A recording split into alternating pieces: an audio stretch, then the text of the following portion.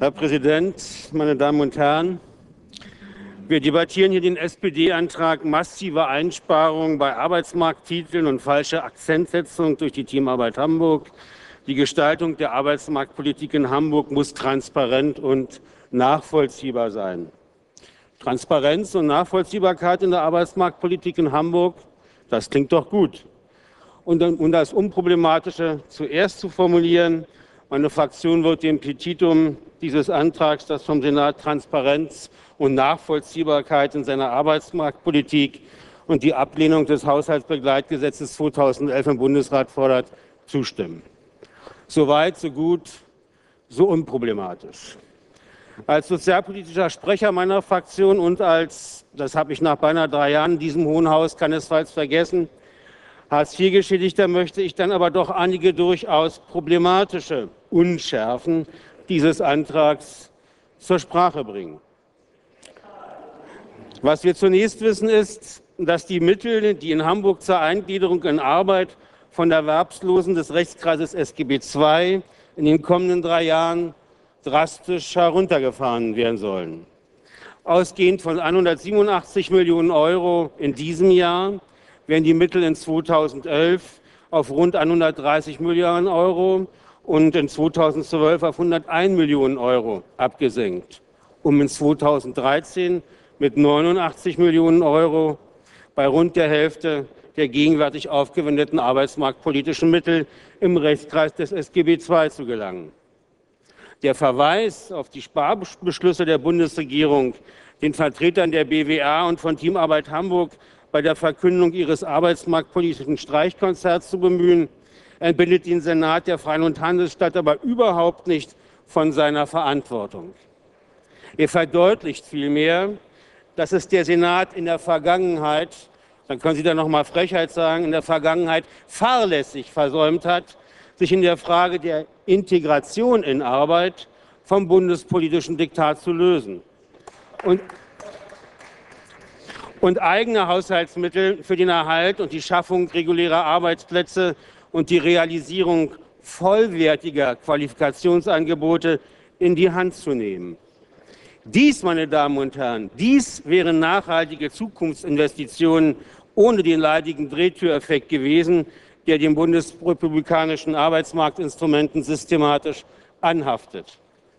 Diese bundespolitischen Arbeitsmarktinstrumente, und wir sprechen da von den 1-Euro-Jobs und von den sogenannten 16e-Maßnahmen, sind aber auch, und das muss dann wieder mal gesagt werden, Kinder der SPD. Und wenn wir in diesem SPD-Antrag lesen, dass die Hartz-IV-Betroffenen, und jetzt Zitat, zu den größten Sparopfern der Wirtschafts- und Finanzkrise, Zitat Ende, werden, dann, meine Damen und Herren, ist das zweifelsfrei zutreffend. Zutreffend ist aber auch, dass die Hartz-IV-Betroffenen die ersten Opfer der rot-grünen Koalition Schröder-Fischer im Bund waren. Und dies haben sie keinesfalls vergessen. Meine Fraktion heißt die drastischen arbeitsmarktpolitischen Einsparungen des schwarz-grünen Hamburger Senats zulasten der Langzeiterwerbslosen natürlich keinesfalls gut. Das muss ganz offen gesagt werden. Allerdings war es wiederum die rot-grüne Bundesregierung, die durch die Schaffen des Zweiklassungssystems in der Arbeitsförderung, also der Rechtskreise SGB II und SGB III, den prekären Status eines entrechteten Langzeitarbeitslosen Hartz-II-Empfängers als erste geschaffen hat. Auch das Ihnen noch mal ins Buch geschrieben. In der Regel erfolgt der Absturz in das Hartz-IV-System nach einem Jahr Erwerbslosigkeit. Bei entsprechend kurzen Anwartzeiten sogar schon nach einem halben Jahr. Die vorgebliche, und da wiederum Zitat aus diesem Antrag, Distanz von Langzeitarbeitslosen zum Arbeitsmarkt hat die rot-grüne Schröder-Fischer-Administration als erste definiert und in die Welt gesetzt, um von der strukturellen Distanz des Arbeitsmarktes von der freigesetzten Erwerbsbevölkerung abzulenken und einen in Europa beispiellos ausgeweiteten Niedriglohnsektor das Feld zu bereiten. Ich darf für meine Person in Anspruch nehmen, nicht nur über Hartz-IV-Betroffene zu sprechen, sondern auch mit ihnen zu reden. Und ich deshalb und ich darf deshalb an dieser Stelle auch in Richtung der SPD formulieren, Lassen Sie uns über eine transparente und nachvollziehbare Arbeitsmarktpolitik in Hamburg diskutieren. Aber bitte, und hören Sie da bitte gut zu, nehmen Sie nicht länger die rund 200.000 in Hamburg von Hartz IV betroffenen Menschen in Geiselhaft, wenn es ihnen in Wahrheit, und das hat man bei Frau Badde ja wieder durchsprechen lassen, wenn es ihnen in Wahrheit um die Interessen der angesichts der jüngsten Sparbeschlüsse sichtlich nervösen Beschäftigungsträger geht. Das ist unredlich. Meine Fraktion kann die Sparbeschlüsse des Senats in der Sozial- und Arbeitsmarktpolitik ebenso wenig gutheißen, wie die SPD-Fraktion das tut. Ich will das hier immer betonen, damit wir nicht morgen in der Presse lesen müssen, die Linke würde die neoliberale Sparpolitik von Schwarz-Gutbühl heißen. Das tut sie selbstverständlich nicht, aber, und das hat ja Frau Badde schon vorausgesehen, wir weinen den Arbeitsgelegenheiten, die nun wegfallen sollen, keine Träne nach. Und wir fordern weiterhin die Abschaffung der verbleibenden 7250 Plätze. Da gibt es gar kein Wenn und Aber. So steht es in unserem Wahlprogramm und daran halten wir uns. Um es noch einmal ganz klar zu sagen, ein Eurojob sind keine adäquaten Fördermaßnahmen. Ein Eurojob sind keine adäquaten Fördermaßnahmen. Sie verdrängen reguläre Beschäftigung, sie leisten einer Ausweitung des Niedriglohnsektors Vorschub und sie bringen die Lohnerwerbslosen nicht nachhaltig in auskömmliche, reguläre und würdevolle Arbeit. Sie binden überdies arbeitsmarktpolitische Mittel, die sinnvoll für die Schaffung und den Erhalt von Arbeitsplätzen für Qualifikationen eingesetzt werden könnten. In abgeschwächter Weise gilt dies auch für die 16e-Maßnahmen, sogenannte Jobperspektive, die den Arbeitsmarkt verzerren, einheitliche Arbeitnehmerrechte aufweichen und durch die nicht erfolgenden Abführungen an die Arbeitslosenversicherung diese Schwächen und den Drehtüreffekt weiterhin Vorschub leisten. Der SPD-Antrag, den wir gerade debattieren, spricht verschiedene und ich sage hochwichtige politische Aspekte für Hamburg und seine Menschen an. Aber er ist eben auch ein wenig diffus. Ich erkenne die nachfolgenden Aspekte. Erstens die Situation der Hartz-IV-Betroffenen, zweitens die soziale Integration in den Stadtteilen und drittens das Los der Beschäftigungsträger. Zu diesen wichtigen Politikfeldern möchte ich der Reihe nach die Position meiner Partei, meiner Fraktion erläutern. Zu eins. Die Situation der von Hartz IV Betroffenen. Selbstverständlich hören auch wir im Gespräch mit einem Eurojobbern oft das Argument, dass es eben die sogenannte Mehraufwandsentschädigung von 120 bis 160 Euro im Monat ist, die es ihnen ermöglicht, sich einigermaßen über Wasser zu halten. Und selbstverständlich, selbstverständlich wissen auch wir, dass es eben genau der Betrag ist, der einem von Hartz-IV-Betroffenen für eine grundlegende soziokulturelle Teilhabe im Monat fehlt. Die systematische politische Forderung, die hieraus resultiert, kann aber doch nicht ein Festhalten an den arbeitsmarktpolitisch kontraproduktiven, entwürdigenden und entrechtenden ein Eurojob sein. Die systematische sozialpolitische Forderung muss die nach einer repressionsfreien und eine würdevolle Existenz gewährleistenden Mindestsicherung sein. Die SPD, deren Antrag wir hier debattieren, hat die Möglichkeit, den erneuten Verfassungsbruch bei der Neuberechnung der Regelsätze, auf den die Bundesministerin von der Leyen geradewegs zusteuert, im Bundesrat zu stoppen. Ich fordere Sie an dieser Stelle auf, sich dafür einzusetzen, solange dieses unterste Netz einer sozialen Mindestsicherung nicht gespannt ist, müssen wir ja gar nicht groß über stark konjunkturabhängige arbeitsmarktpolitische Konzepte diskutieren.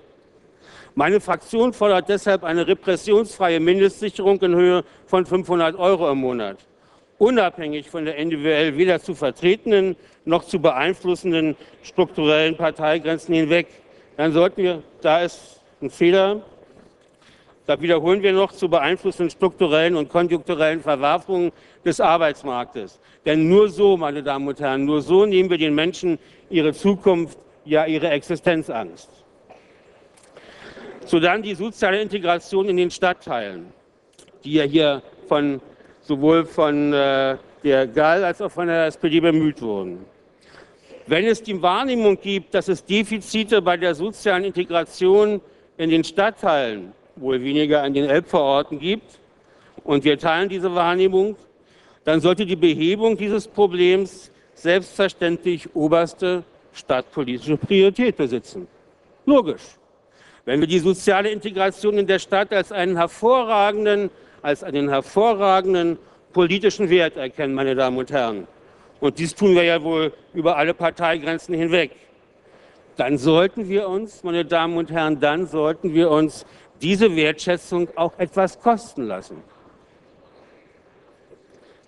Wir brauchen in den Quartieren bestens motivierte Lehrer, Erzieher, Sozialpädagogen und Fachkräfte und Pflegekräfte. Und natürlich kann die Arbeit am Menschen und mit dem Menschen nur fruchtbar sein, wenn sie auch entsprechend motiviert ist. Darüber hinaus, daraus aber ableiten zu wollen, dass dies auf Kosten der Bezahlung erfolgen soll oder auch nur kann, erscheint zutiefst absonderlich.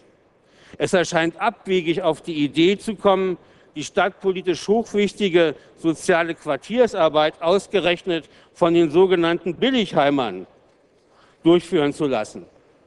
So werden die ein Eurojobber ja von einigen bezeichnet. Ich frage ernsthaft in diese Runde, ist das Ihr Konzept für die Zukunft der wachsenden Metropole Hamburg? Eine soziale Stadtentwicklung in der Billigvariante und zudem je nach Kassenlage des Bundes? Das kann wohl nicht sein.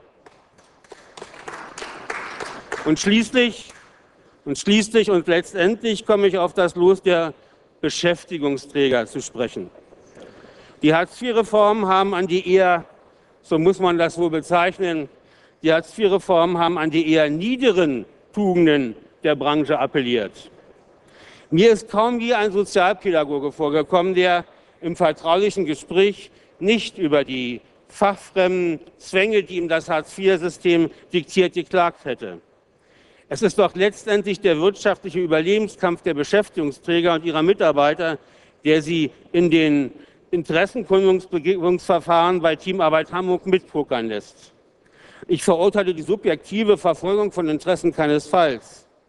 Nur sage ich auch, wir als Parlament, wir als Parlament haben die Aufgabe und die Möglichkeit, zwischen den Interessen, die da aufeinanderprallen, auszugleichen.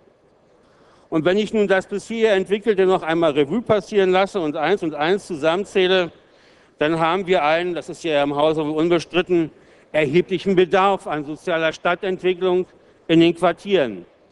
Und wir haben Fachleute in den sozialen Berufen bei den Beschäftigungsträgern. Wenn ich noch mal um Aufmerksamkeit bitten darf, meine Damen und Herren. Was liegt also näher? Was liegt also näher, als den Trägern ihren originären sozialpädagogischen Auftrag zurückzugeben. Da gibt es doch mehr als genug zu tun in unserem Hamburg, in den Quartieren.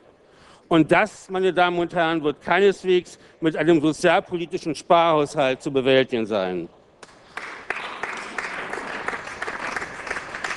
Und, meine Damen und Herren, dann können wir auch weiter über Arbeitsmarktpolitik diskutieren aber dann wirklich im Interesse der Langzeiterwerbslosen und nicht indem wir deren Interessen nur vorschieben, in Wahrheit aber die Interessen der durch Hartz IV korrumpierten Beschäftigungsträger meinen, die den Arbeitsmarktpolitikern der SPD zuweilen doch offensichtlich sehr am Herzen liegen. Meine Fraktion, meine Fraktion stimmt dem Antrag der SPD unter den von mir eben ausgeführten Vorbehalten zu. Und ich danke Ihnen sehr für Ihre Aufmerksamkeit.